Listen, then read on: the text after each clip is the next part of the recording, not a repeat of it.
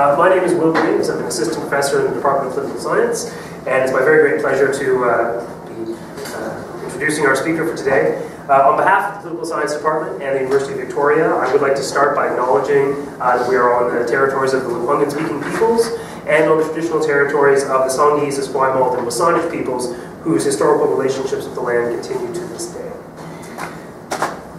Our speaker today uh, perhaps needs no introduction, but I'll do a very brief one anyway. Uh, Dr. Kyle Kirkup is an assistant professor in the University of Ottawa's Faculty of Common Law. Uh, he is widely published in a number of uh, legal and uh, social science journals and is working currently on a book-length manuscript based on his research uh, with the University of British Columbia Press titled Law and Order Queers, Respectability, Victimhood, and the Carceral State. Uh, he is a decorated young legal scholar. He has a doctorate in law from the University of Toronto Faculty of Law and a master's degree from Yale University. Uh, he was a 2013 Trudeau Scholar and a SSHRC Canada Graduate Scholar. Uh, he is perhaps at the cutting edge of this field uh, amongst Canadian legal scholars, and it's our very great pleasure to have him here today to present his current research on the origins of gender identity in the Anglo-American legal tradition. Without further ado, I will turn the floor over to Kyle. I want to start by thanking the Department of Political Science for the warm invitation, in particular Professor Graves uh, for the, the, invitation and for your general um, wonderful hospitality. I'd also like to thank the Trans Archives. Um, when I was a doctoral student, I actually um, flew out to Victoria to, to go to the archives, and some of the things that I found in the archives are actually helped to form the basis for uh, my doctoral work and now for the larger book length project. So uh, thank you as well for your intellectual uh, generosity. So today what I want to do is I want to track some of the origins of gender identity and gender expression in Anglo-American legal discourse. And uh, this project has just been published as part of what we think is the first standalone issue uh, published by a Canadian law journal on translegal issues. Uh, it's published in the University of Toronto Law Journal, and it's called uh, Transfiguring Justice, Trans People and the Law. Uh, so there's four uh, interesting articles covering a variety of different areas. So I just want to start by setting the table a little bit. What we started to see in Canada and the United States and the United Kingdom is really the emergence of lawmakers um, attempting to try to introduce uh, explicit formal uh, protections for trans and or non-binary people on the basis of gender identity and gender expression. So you can think, for example, of Canada uh, in June 2017, the Parliament of Canada, uh, this bill, Bill C-16, received royal assent. You can see there Minister of Justice Jody Wilson-Raybould Randy Boissonnault, and one of the, the, the, the, children who was involved with helping to push forward with uh, human rights recognitions federally. And so what Bill C-16 does, as we know, is it adds the terms gender identity and gender expression to federal human rights statute, the Canadian Human Rights Act, as well as the hate crimes provisions of the criminal code. And as of 2017, we've also seen both provincially and territorially that every jurisdiction across Canada has introduced similar kinds of protections. We've seen the same thing happen in both the United States. We've seen 18 states and the District of Columbia introduce explicit anti-discrimination protections in law, uh, as well as a similar piece of legislation uh, in 2016 in the United Kingdom that would have added the term gender identity to the Equality Act. Um, so there's been really interesting body of scholarship that's emerged in this area, very multidisciplinary. Uh, there's you know legal writers, uh, trans law uh, actors. There are uh, all kinds of kind of critical oriented scholars that are looking at this issue. And, and by and large, the scholarship is kind of broken out into three parts. There's been the kind of people that are really, really super enthusiastic about human rights law protections, right? There's been the group um, that is very critical of this development, right? You can think of scholars like Dean Spade, who are critical of the na naming and placement of identities in law and what that might do to kind of mask underlying structural inequalities, uh, particularly for those situated at multiple axes of oppression.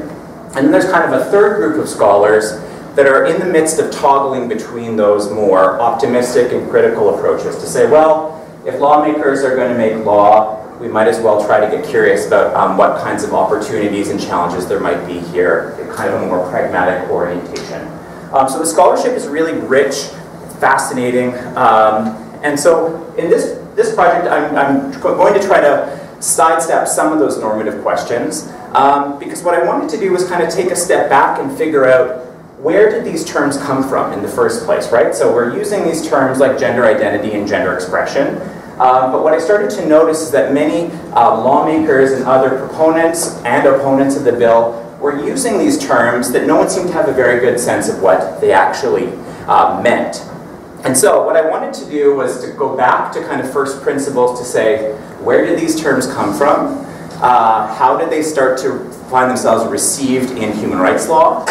And then hopefully the kind of so what question is, what might what clues might we, we have about the future directions of the field in view of this kind of historical his, uh, uh, development?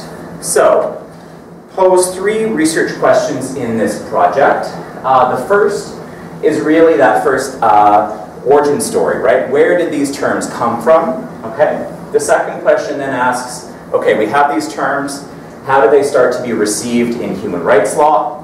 And then the last question uh, is really what are the implications for contemporary Anglo-American human rights law?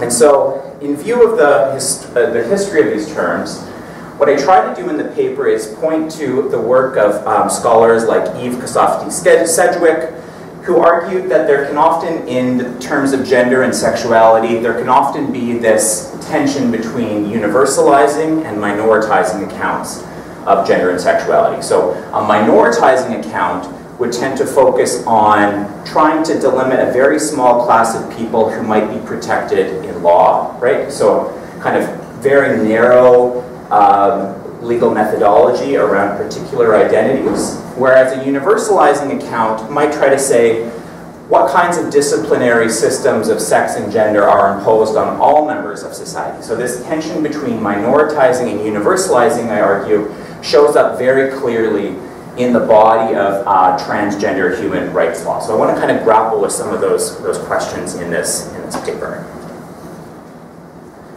So what you'll notice pretty quickly when you start to look at the advent of these laws is that there are no formalized kind of definitions in most of the legal instruments that have been passed in Canada and the United Kingdom and the United States. And so what you start to see is a series of extra legal actors uh, stepping in to provide interpretive meaning to these terms.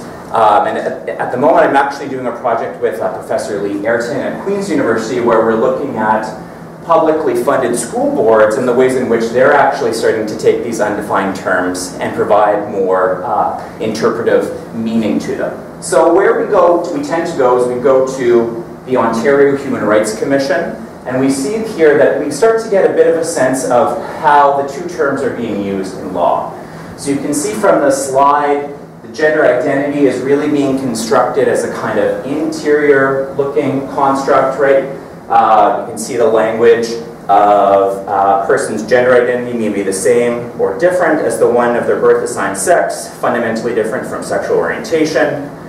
And gender expression, you see, starts to become more of an externally uh, demonstrated or performed construct, right? You can see this focus on outward behavior, appearance, dress, makeup, a variety of different kinds of externally performed uh, aspects. Okay, so now, now what I've done is I've kind of started to set the table. And what I want to do is now take us back all the way into the 1960s and to really take you into the emergence of gender identity as a concept. And, sorry, so we go back to 1963 and we see the, uh, the emergence of gender identity uh, being presented by two doctors, Dr. Stoller and Dr. Greenson, um, who construct gender identity as part of this symposium on homosexuality. And you start to see very quickly that this term uh, is formed by two doctors and very quickly starts to be uh, taken up by a variety of other actors using the DSM-3. And so what starts to happen is that rather than using the term gender identity, we actually see uh, lawmakers begin to use other kinds of terms. In particular, a 1975 decision of the city of Minneapolis demonstrates that the term is not uh, gender identity, but rather affectional preference, right? So you see uh, a variety of actors starting to pick up on other terms rather than gender identity in constructing uh, this version of what it means to uh, be recognized in, in law. So what happens in 1975 is we see, uh, what happens in 1975 is there, one year earlier had been this construction of affectional preference in, in uh, the city of Minneapolis. And so what lawmakers start to do is they decide to uh, basically tack on gender identity or a form of gender identity into the human rights statute, right? So we see this language of having or projecting a self-image not associated with one's biological maleness or one's biological femaleness.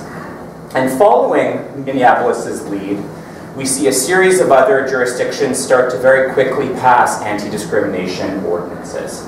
Uh, you see this happen throughout the 1970s and the 1980s. Uh, but what's really interesting is that none of these early jurisdictions are actually using the term gender identity at all. In fact, they're using affectional preference, sometimes they're using transsexual status, a variety of other kinds of uh, terminology. And so what I wanted to do is figure out, okay, when does gender identity actually start to surface in law? And so I go back to the reported cases from Canada, from the United States, and from the United Kingdom, and it turns out that actually the migration of this term is being done by experts. So experts that are being called in a series of cases, sometimes involving criminal activities or family law issues or employment law issues, you see experts being called to testify and they start to use the term gender identity that's produced in 1963 in a series of reports that they're issuing. So really interesting then that we actually have a very kind of biomedical understanding of gender identity being constructed by two doctors at a symposium in 1963 in Stockholm.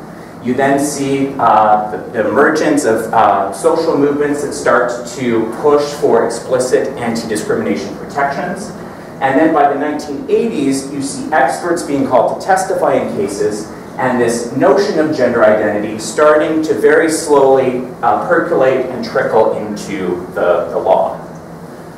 So then we get to 1994, and for the first time we see the city of San Francisco add the term gender identity expressly to its uh, local uh, anti-discrimination ordinance.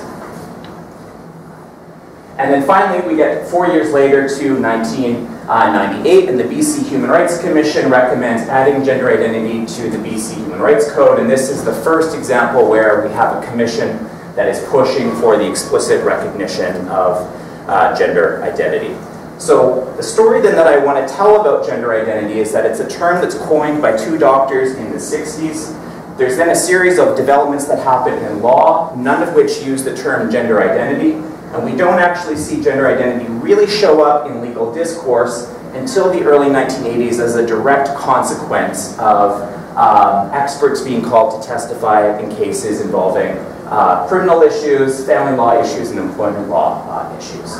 Um, so I just wanted to give us a little bit of Victoria um, context for this talk. The same year that the BC Human Rights Commission becomes the first human rights commission to add gender, uh, recommend adding gender identity to the code. We actually have the first case in Canada to uh, actually be reported using the term gender identity. And this is a case that was brought by uh, a woman named Tawny Sheridan who alleged discrimination at a club in Victoria called BJ's Lounge. Um, so at the time, because gender identity had not been explicitly recognized in law, uh, Sheridan decides to bring her case on the basis of sex and disability uh, rather than gender identity. But what's really fascinating is I went back to the reported record and she actually pushed for uh, an amendment to her statement of claim where she tried to argue that indeed gender identity ought to be uh, recognized. The, the judge ultimately said that recognition requires a legislative change in the BC government and uh, she ultimately was unsuccessful on that basis, but on the merits of the case, she was ultimately successful. Uh, there was a finding of the tribunal that she had been discriminated against on the basis of sex and disability, uh, and ultimately she was uh, ordered, they were ordered to, to pay $2,000. And so what's interesting then is that the first explicit uh, recognition of gender identity in Canadian law happens in 2002. In 2002, the Northwest Territories becomes the first jurisdiction in Canada to formally recognize gender identity as a prohibited ground of discrimination. And this happens basically because up until this point, the Northwest Territories does not have a standalone human rights regime. And so when they're, they're considering what the most modern, contemporary, up-to-date uh, system might look like, um, there's a decision made that to be as inclusive as possible, gender identity ought to be considered as one of the prohibited grounds. And so throughout this, this discussion of gender identity then, um, you can see given the intellectual origins of the term as a term that's coined by doctors, that starts to emerge in law through uh, medical experts, you can see really gender identity being a very narrow, kind of minoritizing account that tends to focus on more biomedical kinds of indicators of identity and experience, which I argue is very, very different from the emergence of gender expression, which starts to happen uh, at the turn of the century. Uh, so I, what I wanted to then do is, is flip gears a little bit and focus on the emergence of gender expression. And rather than being able to locate kind of two doctors who coined a term in 1963, in the gender expression context, what I found was actually far more complicated and opaque. Um, you don't really see gender expression emerge as a standalone concept until uh, the 1990s into about the year 2000. Um, and I argue that this, this shift tends to coincide quite uh, closely with the emergence of more performative or postmodern theories of, of gender. So you can see that rather than having its origins in a kind of biomedical story produced by psychiatrists, right, instead in the gender expression context, you see uh, a focus on performative theories of, of, gender. So rather than a more universal or a minoritizing construct, you see more of a universalizing notion of, of gender expression. So, um, you start to see lawmakers take up this uh, push for more expansive understandings of gender in 2000 when New York City becomes the first jurisdiction in the Anglo-American world to expressly uh, add the term gender expression to its, uh, its uh, local anti-discrimination ordinance. And what was interesting about this development was that nobody really seemed, commentators at the time, went back and did a media scan of, of the term during this period, and what I found was that uh, people were kind of found, found this development to be completely unremarkable, right? Uh, that New York City, and adding the term uh, gender expression to its uh, local ordinance, was just kind of getting on to the human rights train with other jurisdictions that had already uh, done this. And so the first case that actually uses the term gender expression in Canada is a 2006 decision, a case called Forrester versus Peel, which involved uh, discrimination in a policing setting. And again, what was fascinating to me was the term gender expression again emerges as a direct consequence of expert evidence. So there is a, a woman who, a trans woman who was uh, called to testify in the case of Forrester to uh, give evidence about discrimination. She uses the term gender expression as part of a report that she uh, tables with the tribunal, and ultimately the tribunal member making a decision about whether or not there is discrimination picks up some of the findings of the, the, the term. So again, I think part of the policy, policy story here is that sometimes policies can be really uh, robustly constructed as a result of a lot of um, careful deliberation and consideration, and then other times uh, policies can be the complete opposite, right? That they can be simply as, as, as accidental as an expert being called to testify in a particular matter. The word gets taken up by tribunal members, and ultimately then the word starts to um, circulate in, in law and policy. Okay, So I've now tried to set the table a little bit to focus on gender identity as a kind of uh, uh, biomedical, uh, minoritizing understanding of gender, whereas gender expression, I argue, is a much newer concept and emerges with the advent of uh, performative theories of gender. And so what I wanted then to do is figure out how, in view of these two parallel histories that have such different kinds of normative preoccupations, how is it that moving forward, as we start to look towards 2017, how is it that these two terms that come out of entirely different historical moments, with entirely different kinds of preoccupations, how is it that we have these terms set together? Right? How is it that gender identity, what comes out of 1963, and gender expression coming out in the, the, the 90s into the 2000s, how is it that in law these two terms are starting to walk uh, together? Um, and so the first instance, as I've talked about, is New York City in 2000 with gender expression. In Canada, the first time we see gender identity and gender expression work together is 2012 when Ontario introduces Toby's Act, uh, which adds both terms to the Ontario Human Rights Code. And what we start to see is after 2012, over the next five years, virtually every jurisdiction engages in the same kind of process, with every jurisdiction except Manitoba and Saskatchewan deciding to use both gender identity and gender expression. Um, and this happens in, I would argue, a fairly uncontroversial way. You go look at the Hansard debates related to Toby's Act, and what you find is that no one's really talking about, isn't it kind of weird that we have these two terms that we're adding to law that are very different, they have different uh, kinds of histories, they're defined in very different kinds of ways. Um, the Hansard debates, I would argue, are far more about um, you know, the benefits of human rights protections, a fairly kind of um, uncritical understanding of adding human rights uh, and the prospect of adding uh, human rights. What's interesting is when you compare this development in Ontario to the federal level, I think you see a far more complicated kind of story.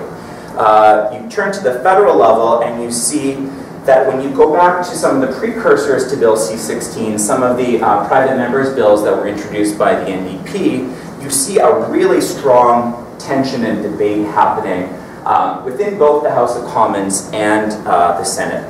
So for example, Bill C-279, one of the precursors to Bill C-16, um, there was a proposal that it would add both uh, gender identity and gender expression to the federal uh, Canadian Human Rights Act as well as to the criminal code provisions. Um, and what's fascinating is that during that debate, um, the, the, debate got so heated and there was a suggestion that this bill was so unlikely to pass that um, proponents of the bill decided to take out the term gender expression altogether.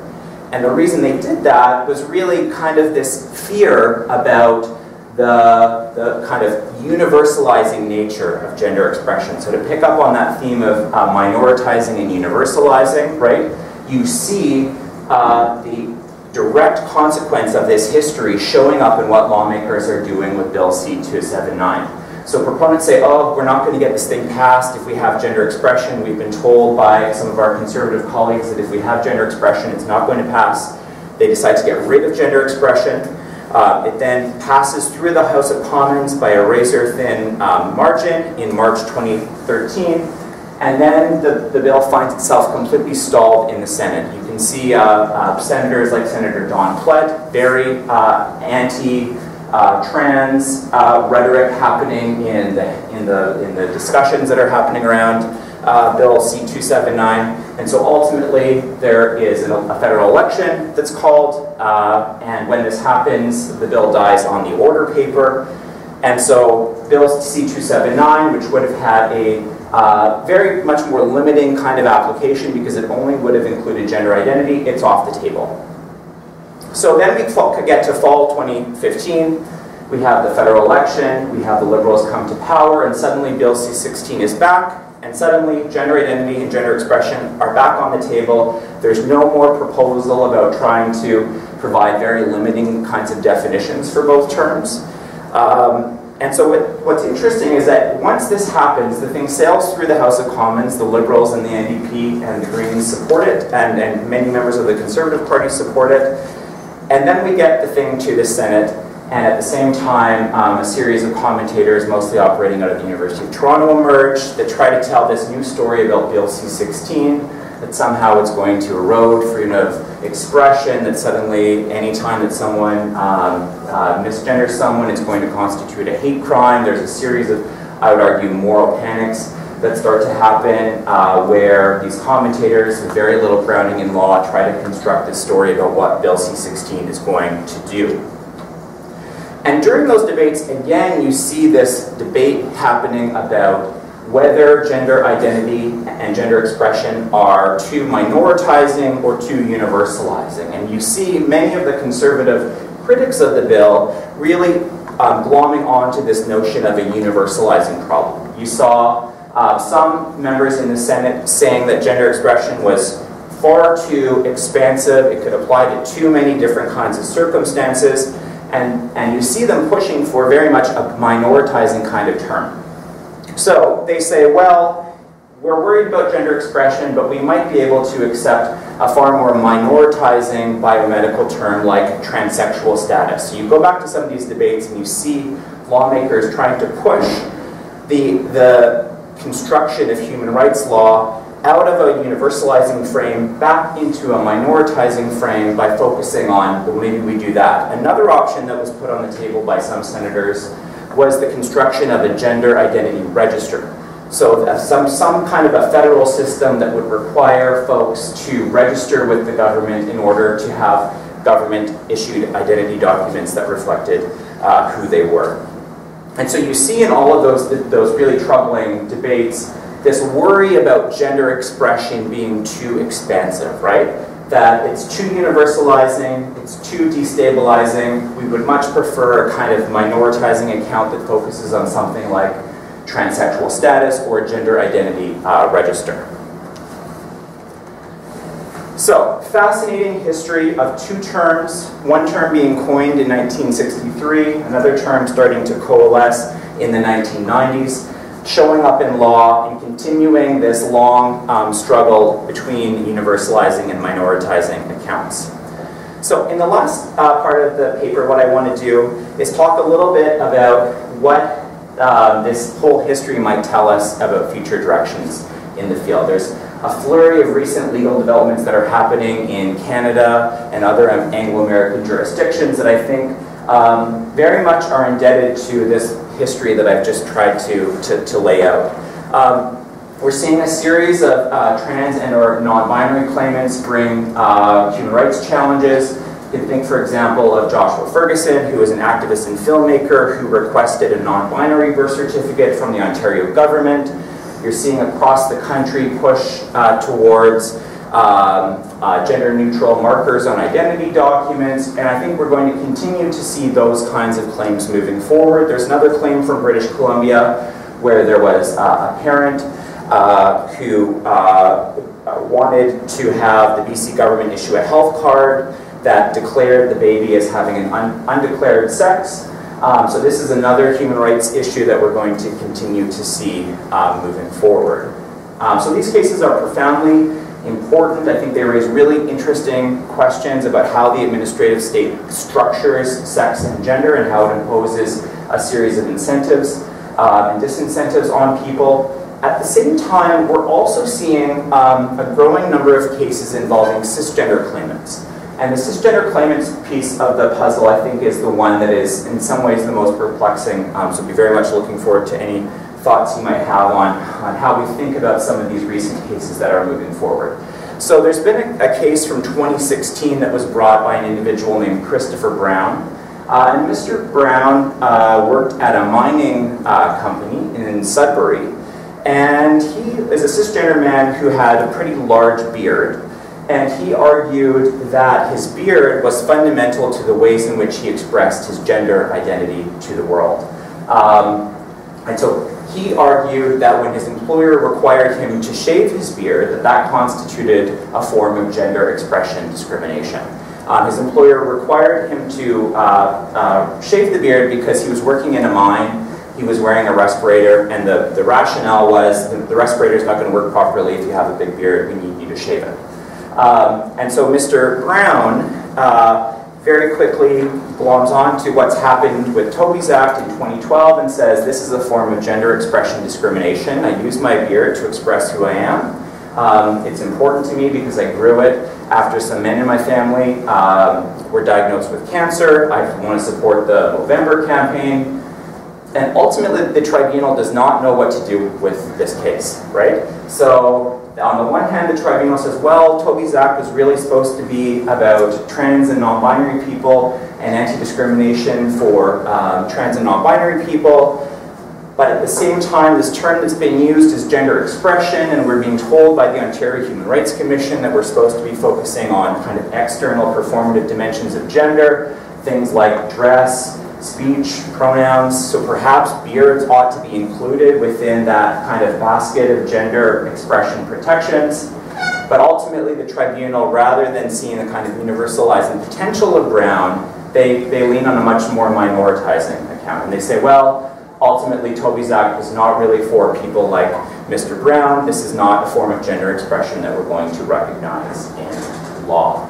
Um, but they then leave us with this fascinating caveat where they say, well, but in the future, there could be cases brought by cisgender people who may have experienced gender expression discrimination that would be targeted uh, or captured by the Ontario Human Rights Code. Uh, which then brings me to another really interesting case that's percolating in Ontario woman named Genevieve Lasselle. Uh, she's a cisgender woman who works at an Eastside Mario's. Uh, her employer allegedly told her that she must wear a bra while she's uh, serving.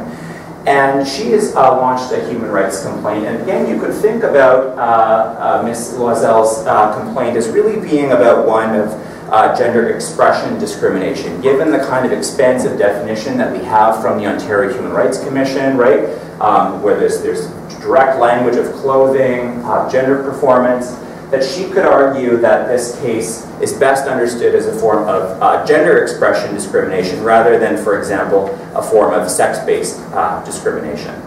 And so I think moving forward, we are going to continue to see these cases that grapple with how we draw lines around who ought to be protected by human rights law and who ought not to be. And given the history of the terms gender identity and gender expression, I think that it will probably prove to be quite unsurprising that tribunals are going to be struggling with how we do this, right? Are we going to end up with a more minoritizing kind of account? Or are we going to end up with some kind of a more universalizing account? And what are the implications for that uh, moving forward? And so I suppose the ultimate conclusion then is that um, history matters in some ways, um, and that we ought to be attentive to the ways in which uh, the historical moments that produce particular kinds of ideas actually have quite a lot of salience for the present. Um, when we think about the future directions of the field, I think in view of the history of gender identity as a kind of 1960s biomedical term, versus gender expression as a kind of 1990s uh, performative term, that we will continue to see lawmakers struggling with exactly this tension. And as I will say, um, law tends to be quite uncomfortable with uncertainty, right? With uh, those uh, who do not readily fit within um, kind of pre-existing legal structures. And so you will see tribunal members, I think, really grappling with this interpretive uh, tension moving forward. So with that, I'll leave it there and look very much looking forward to our discussion. Thank you.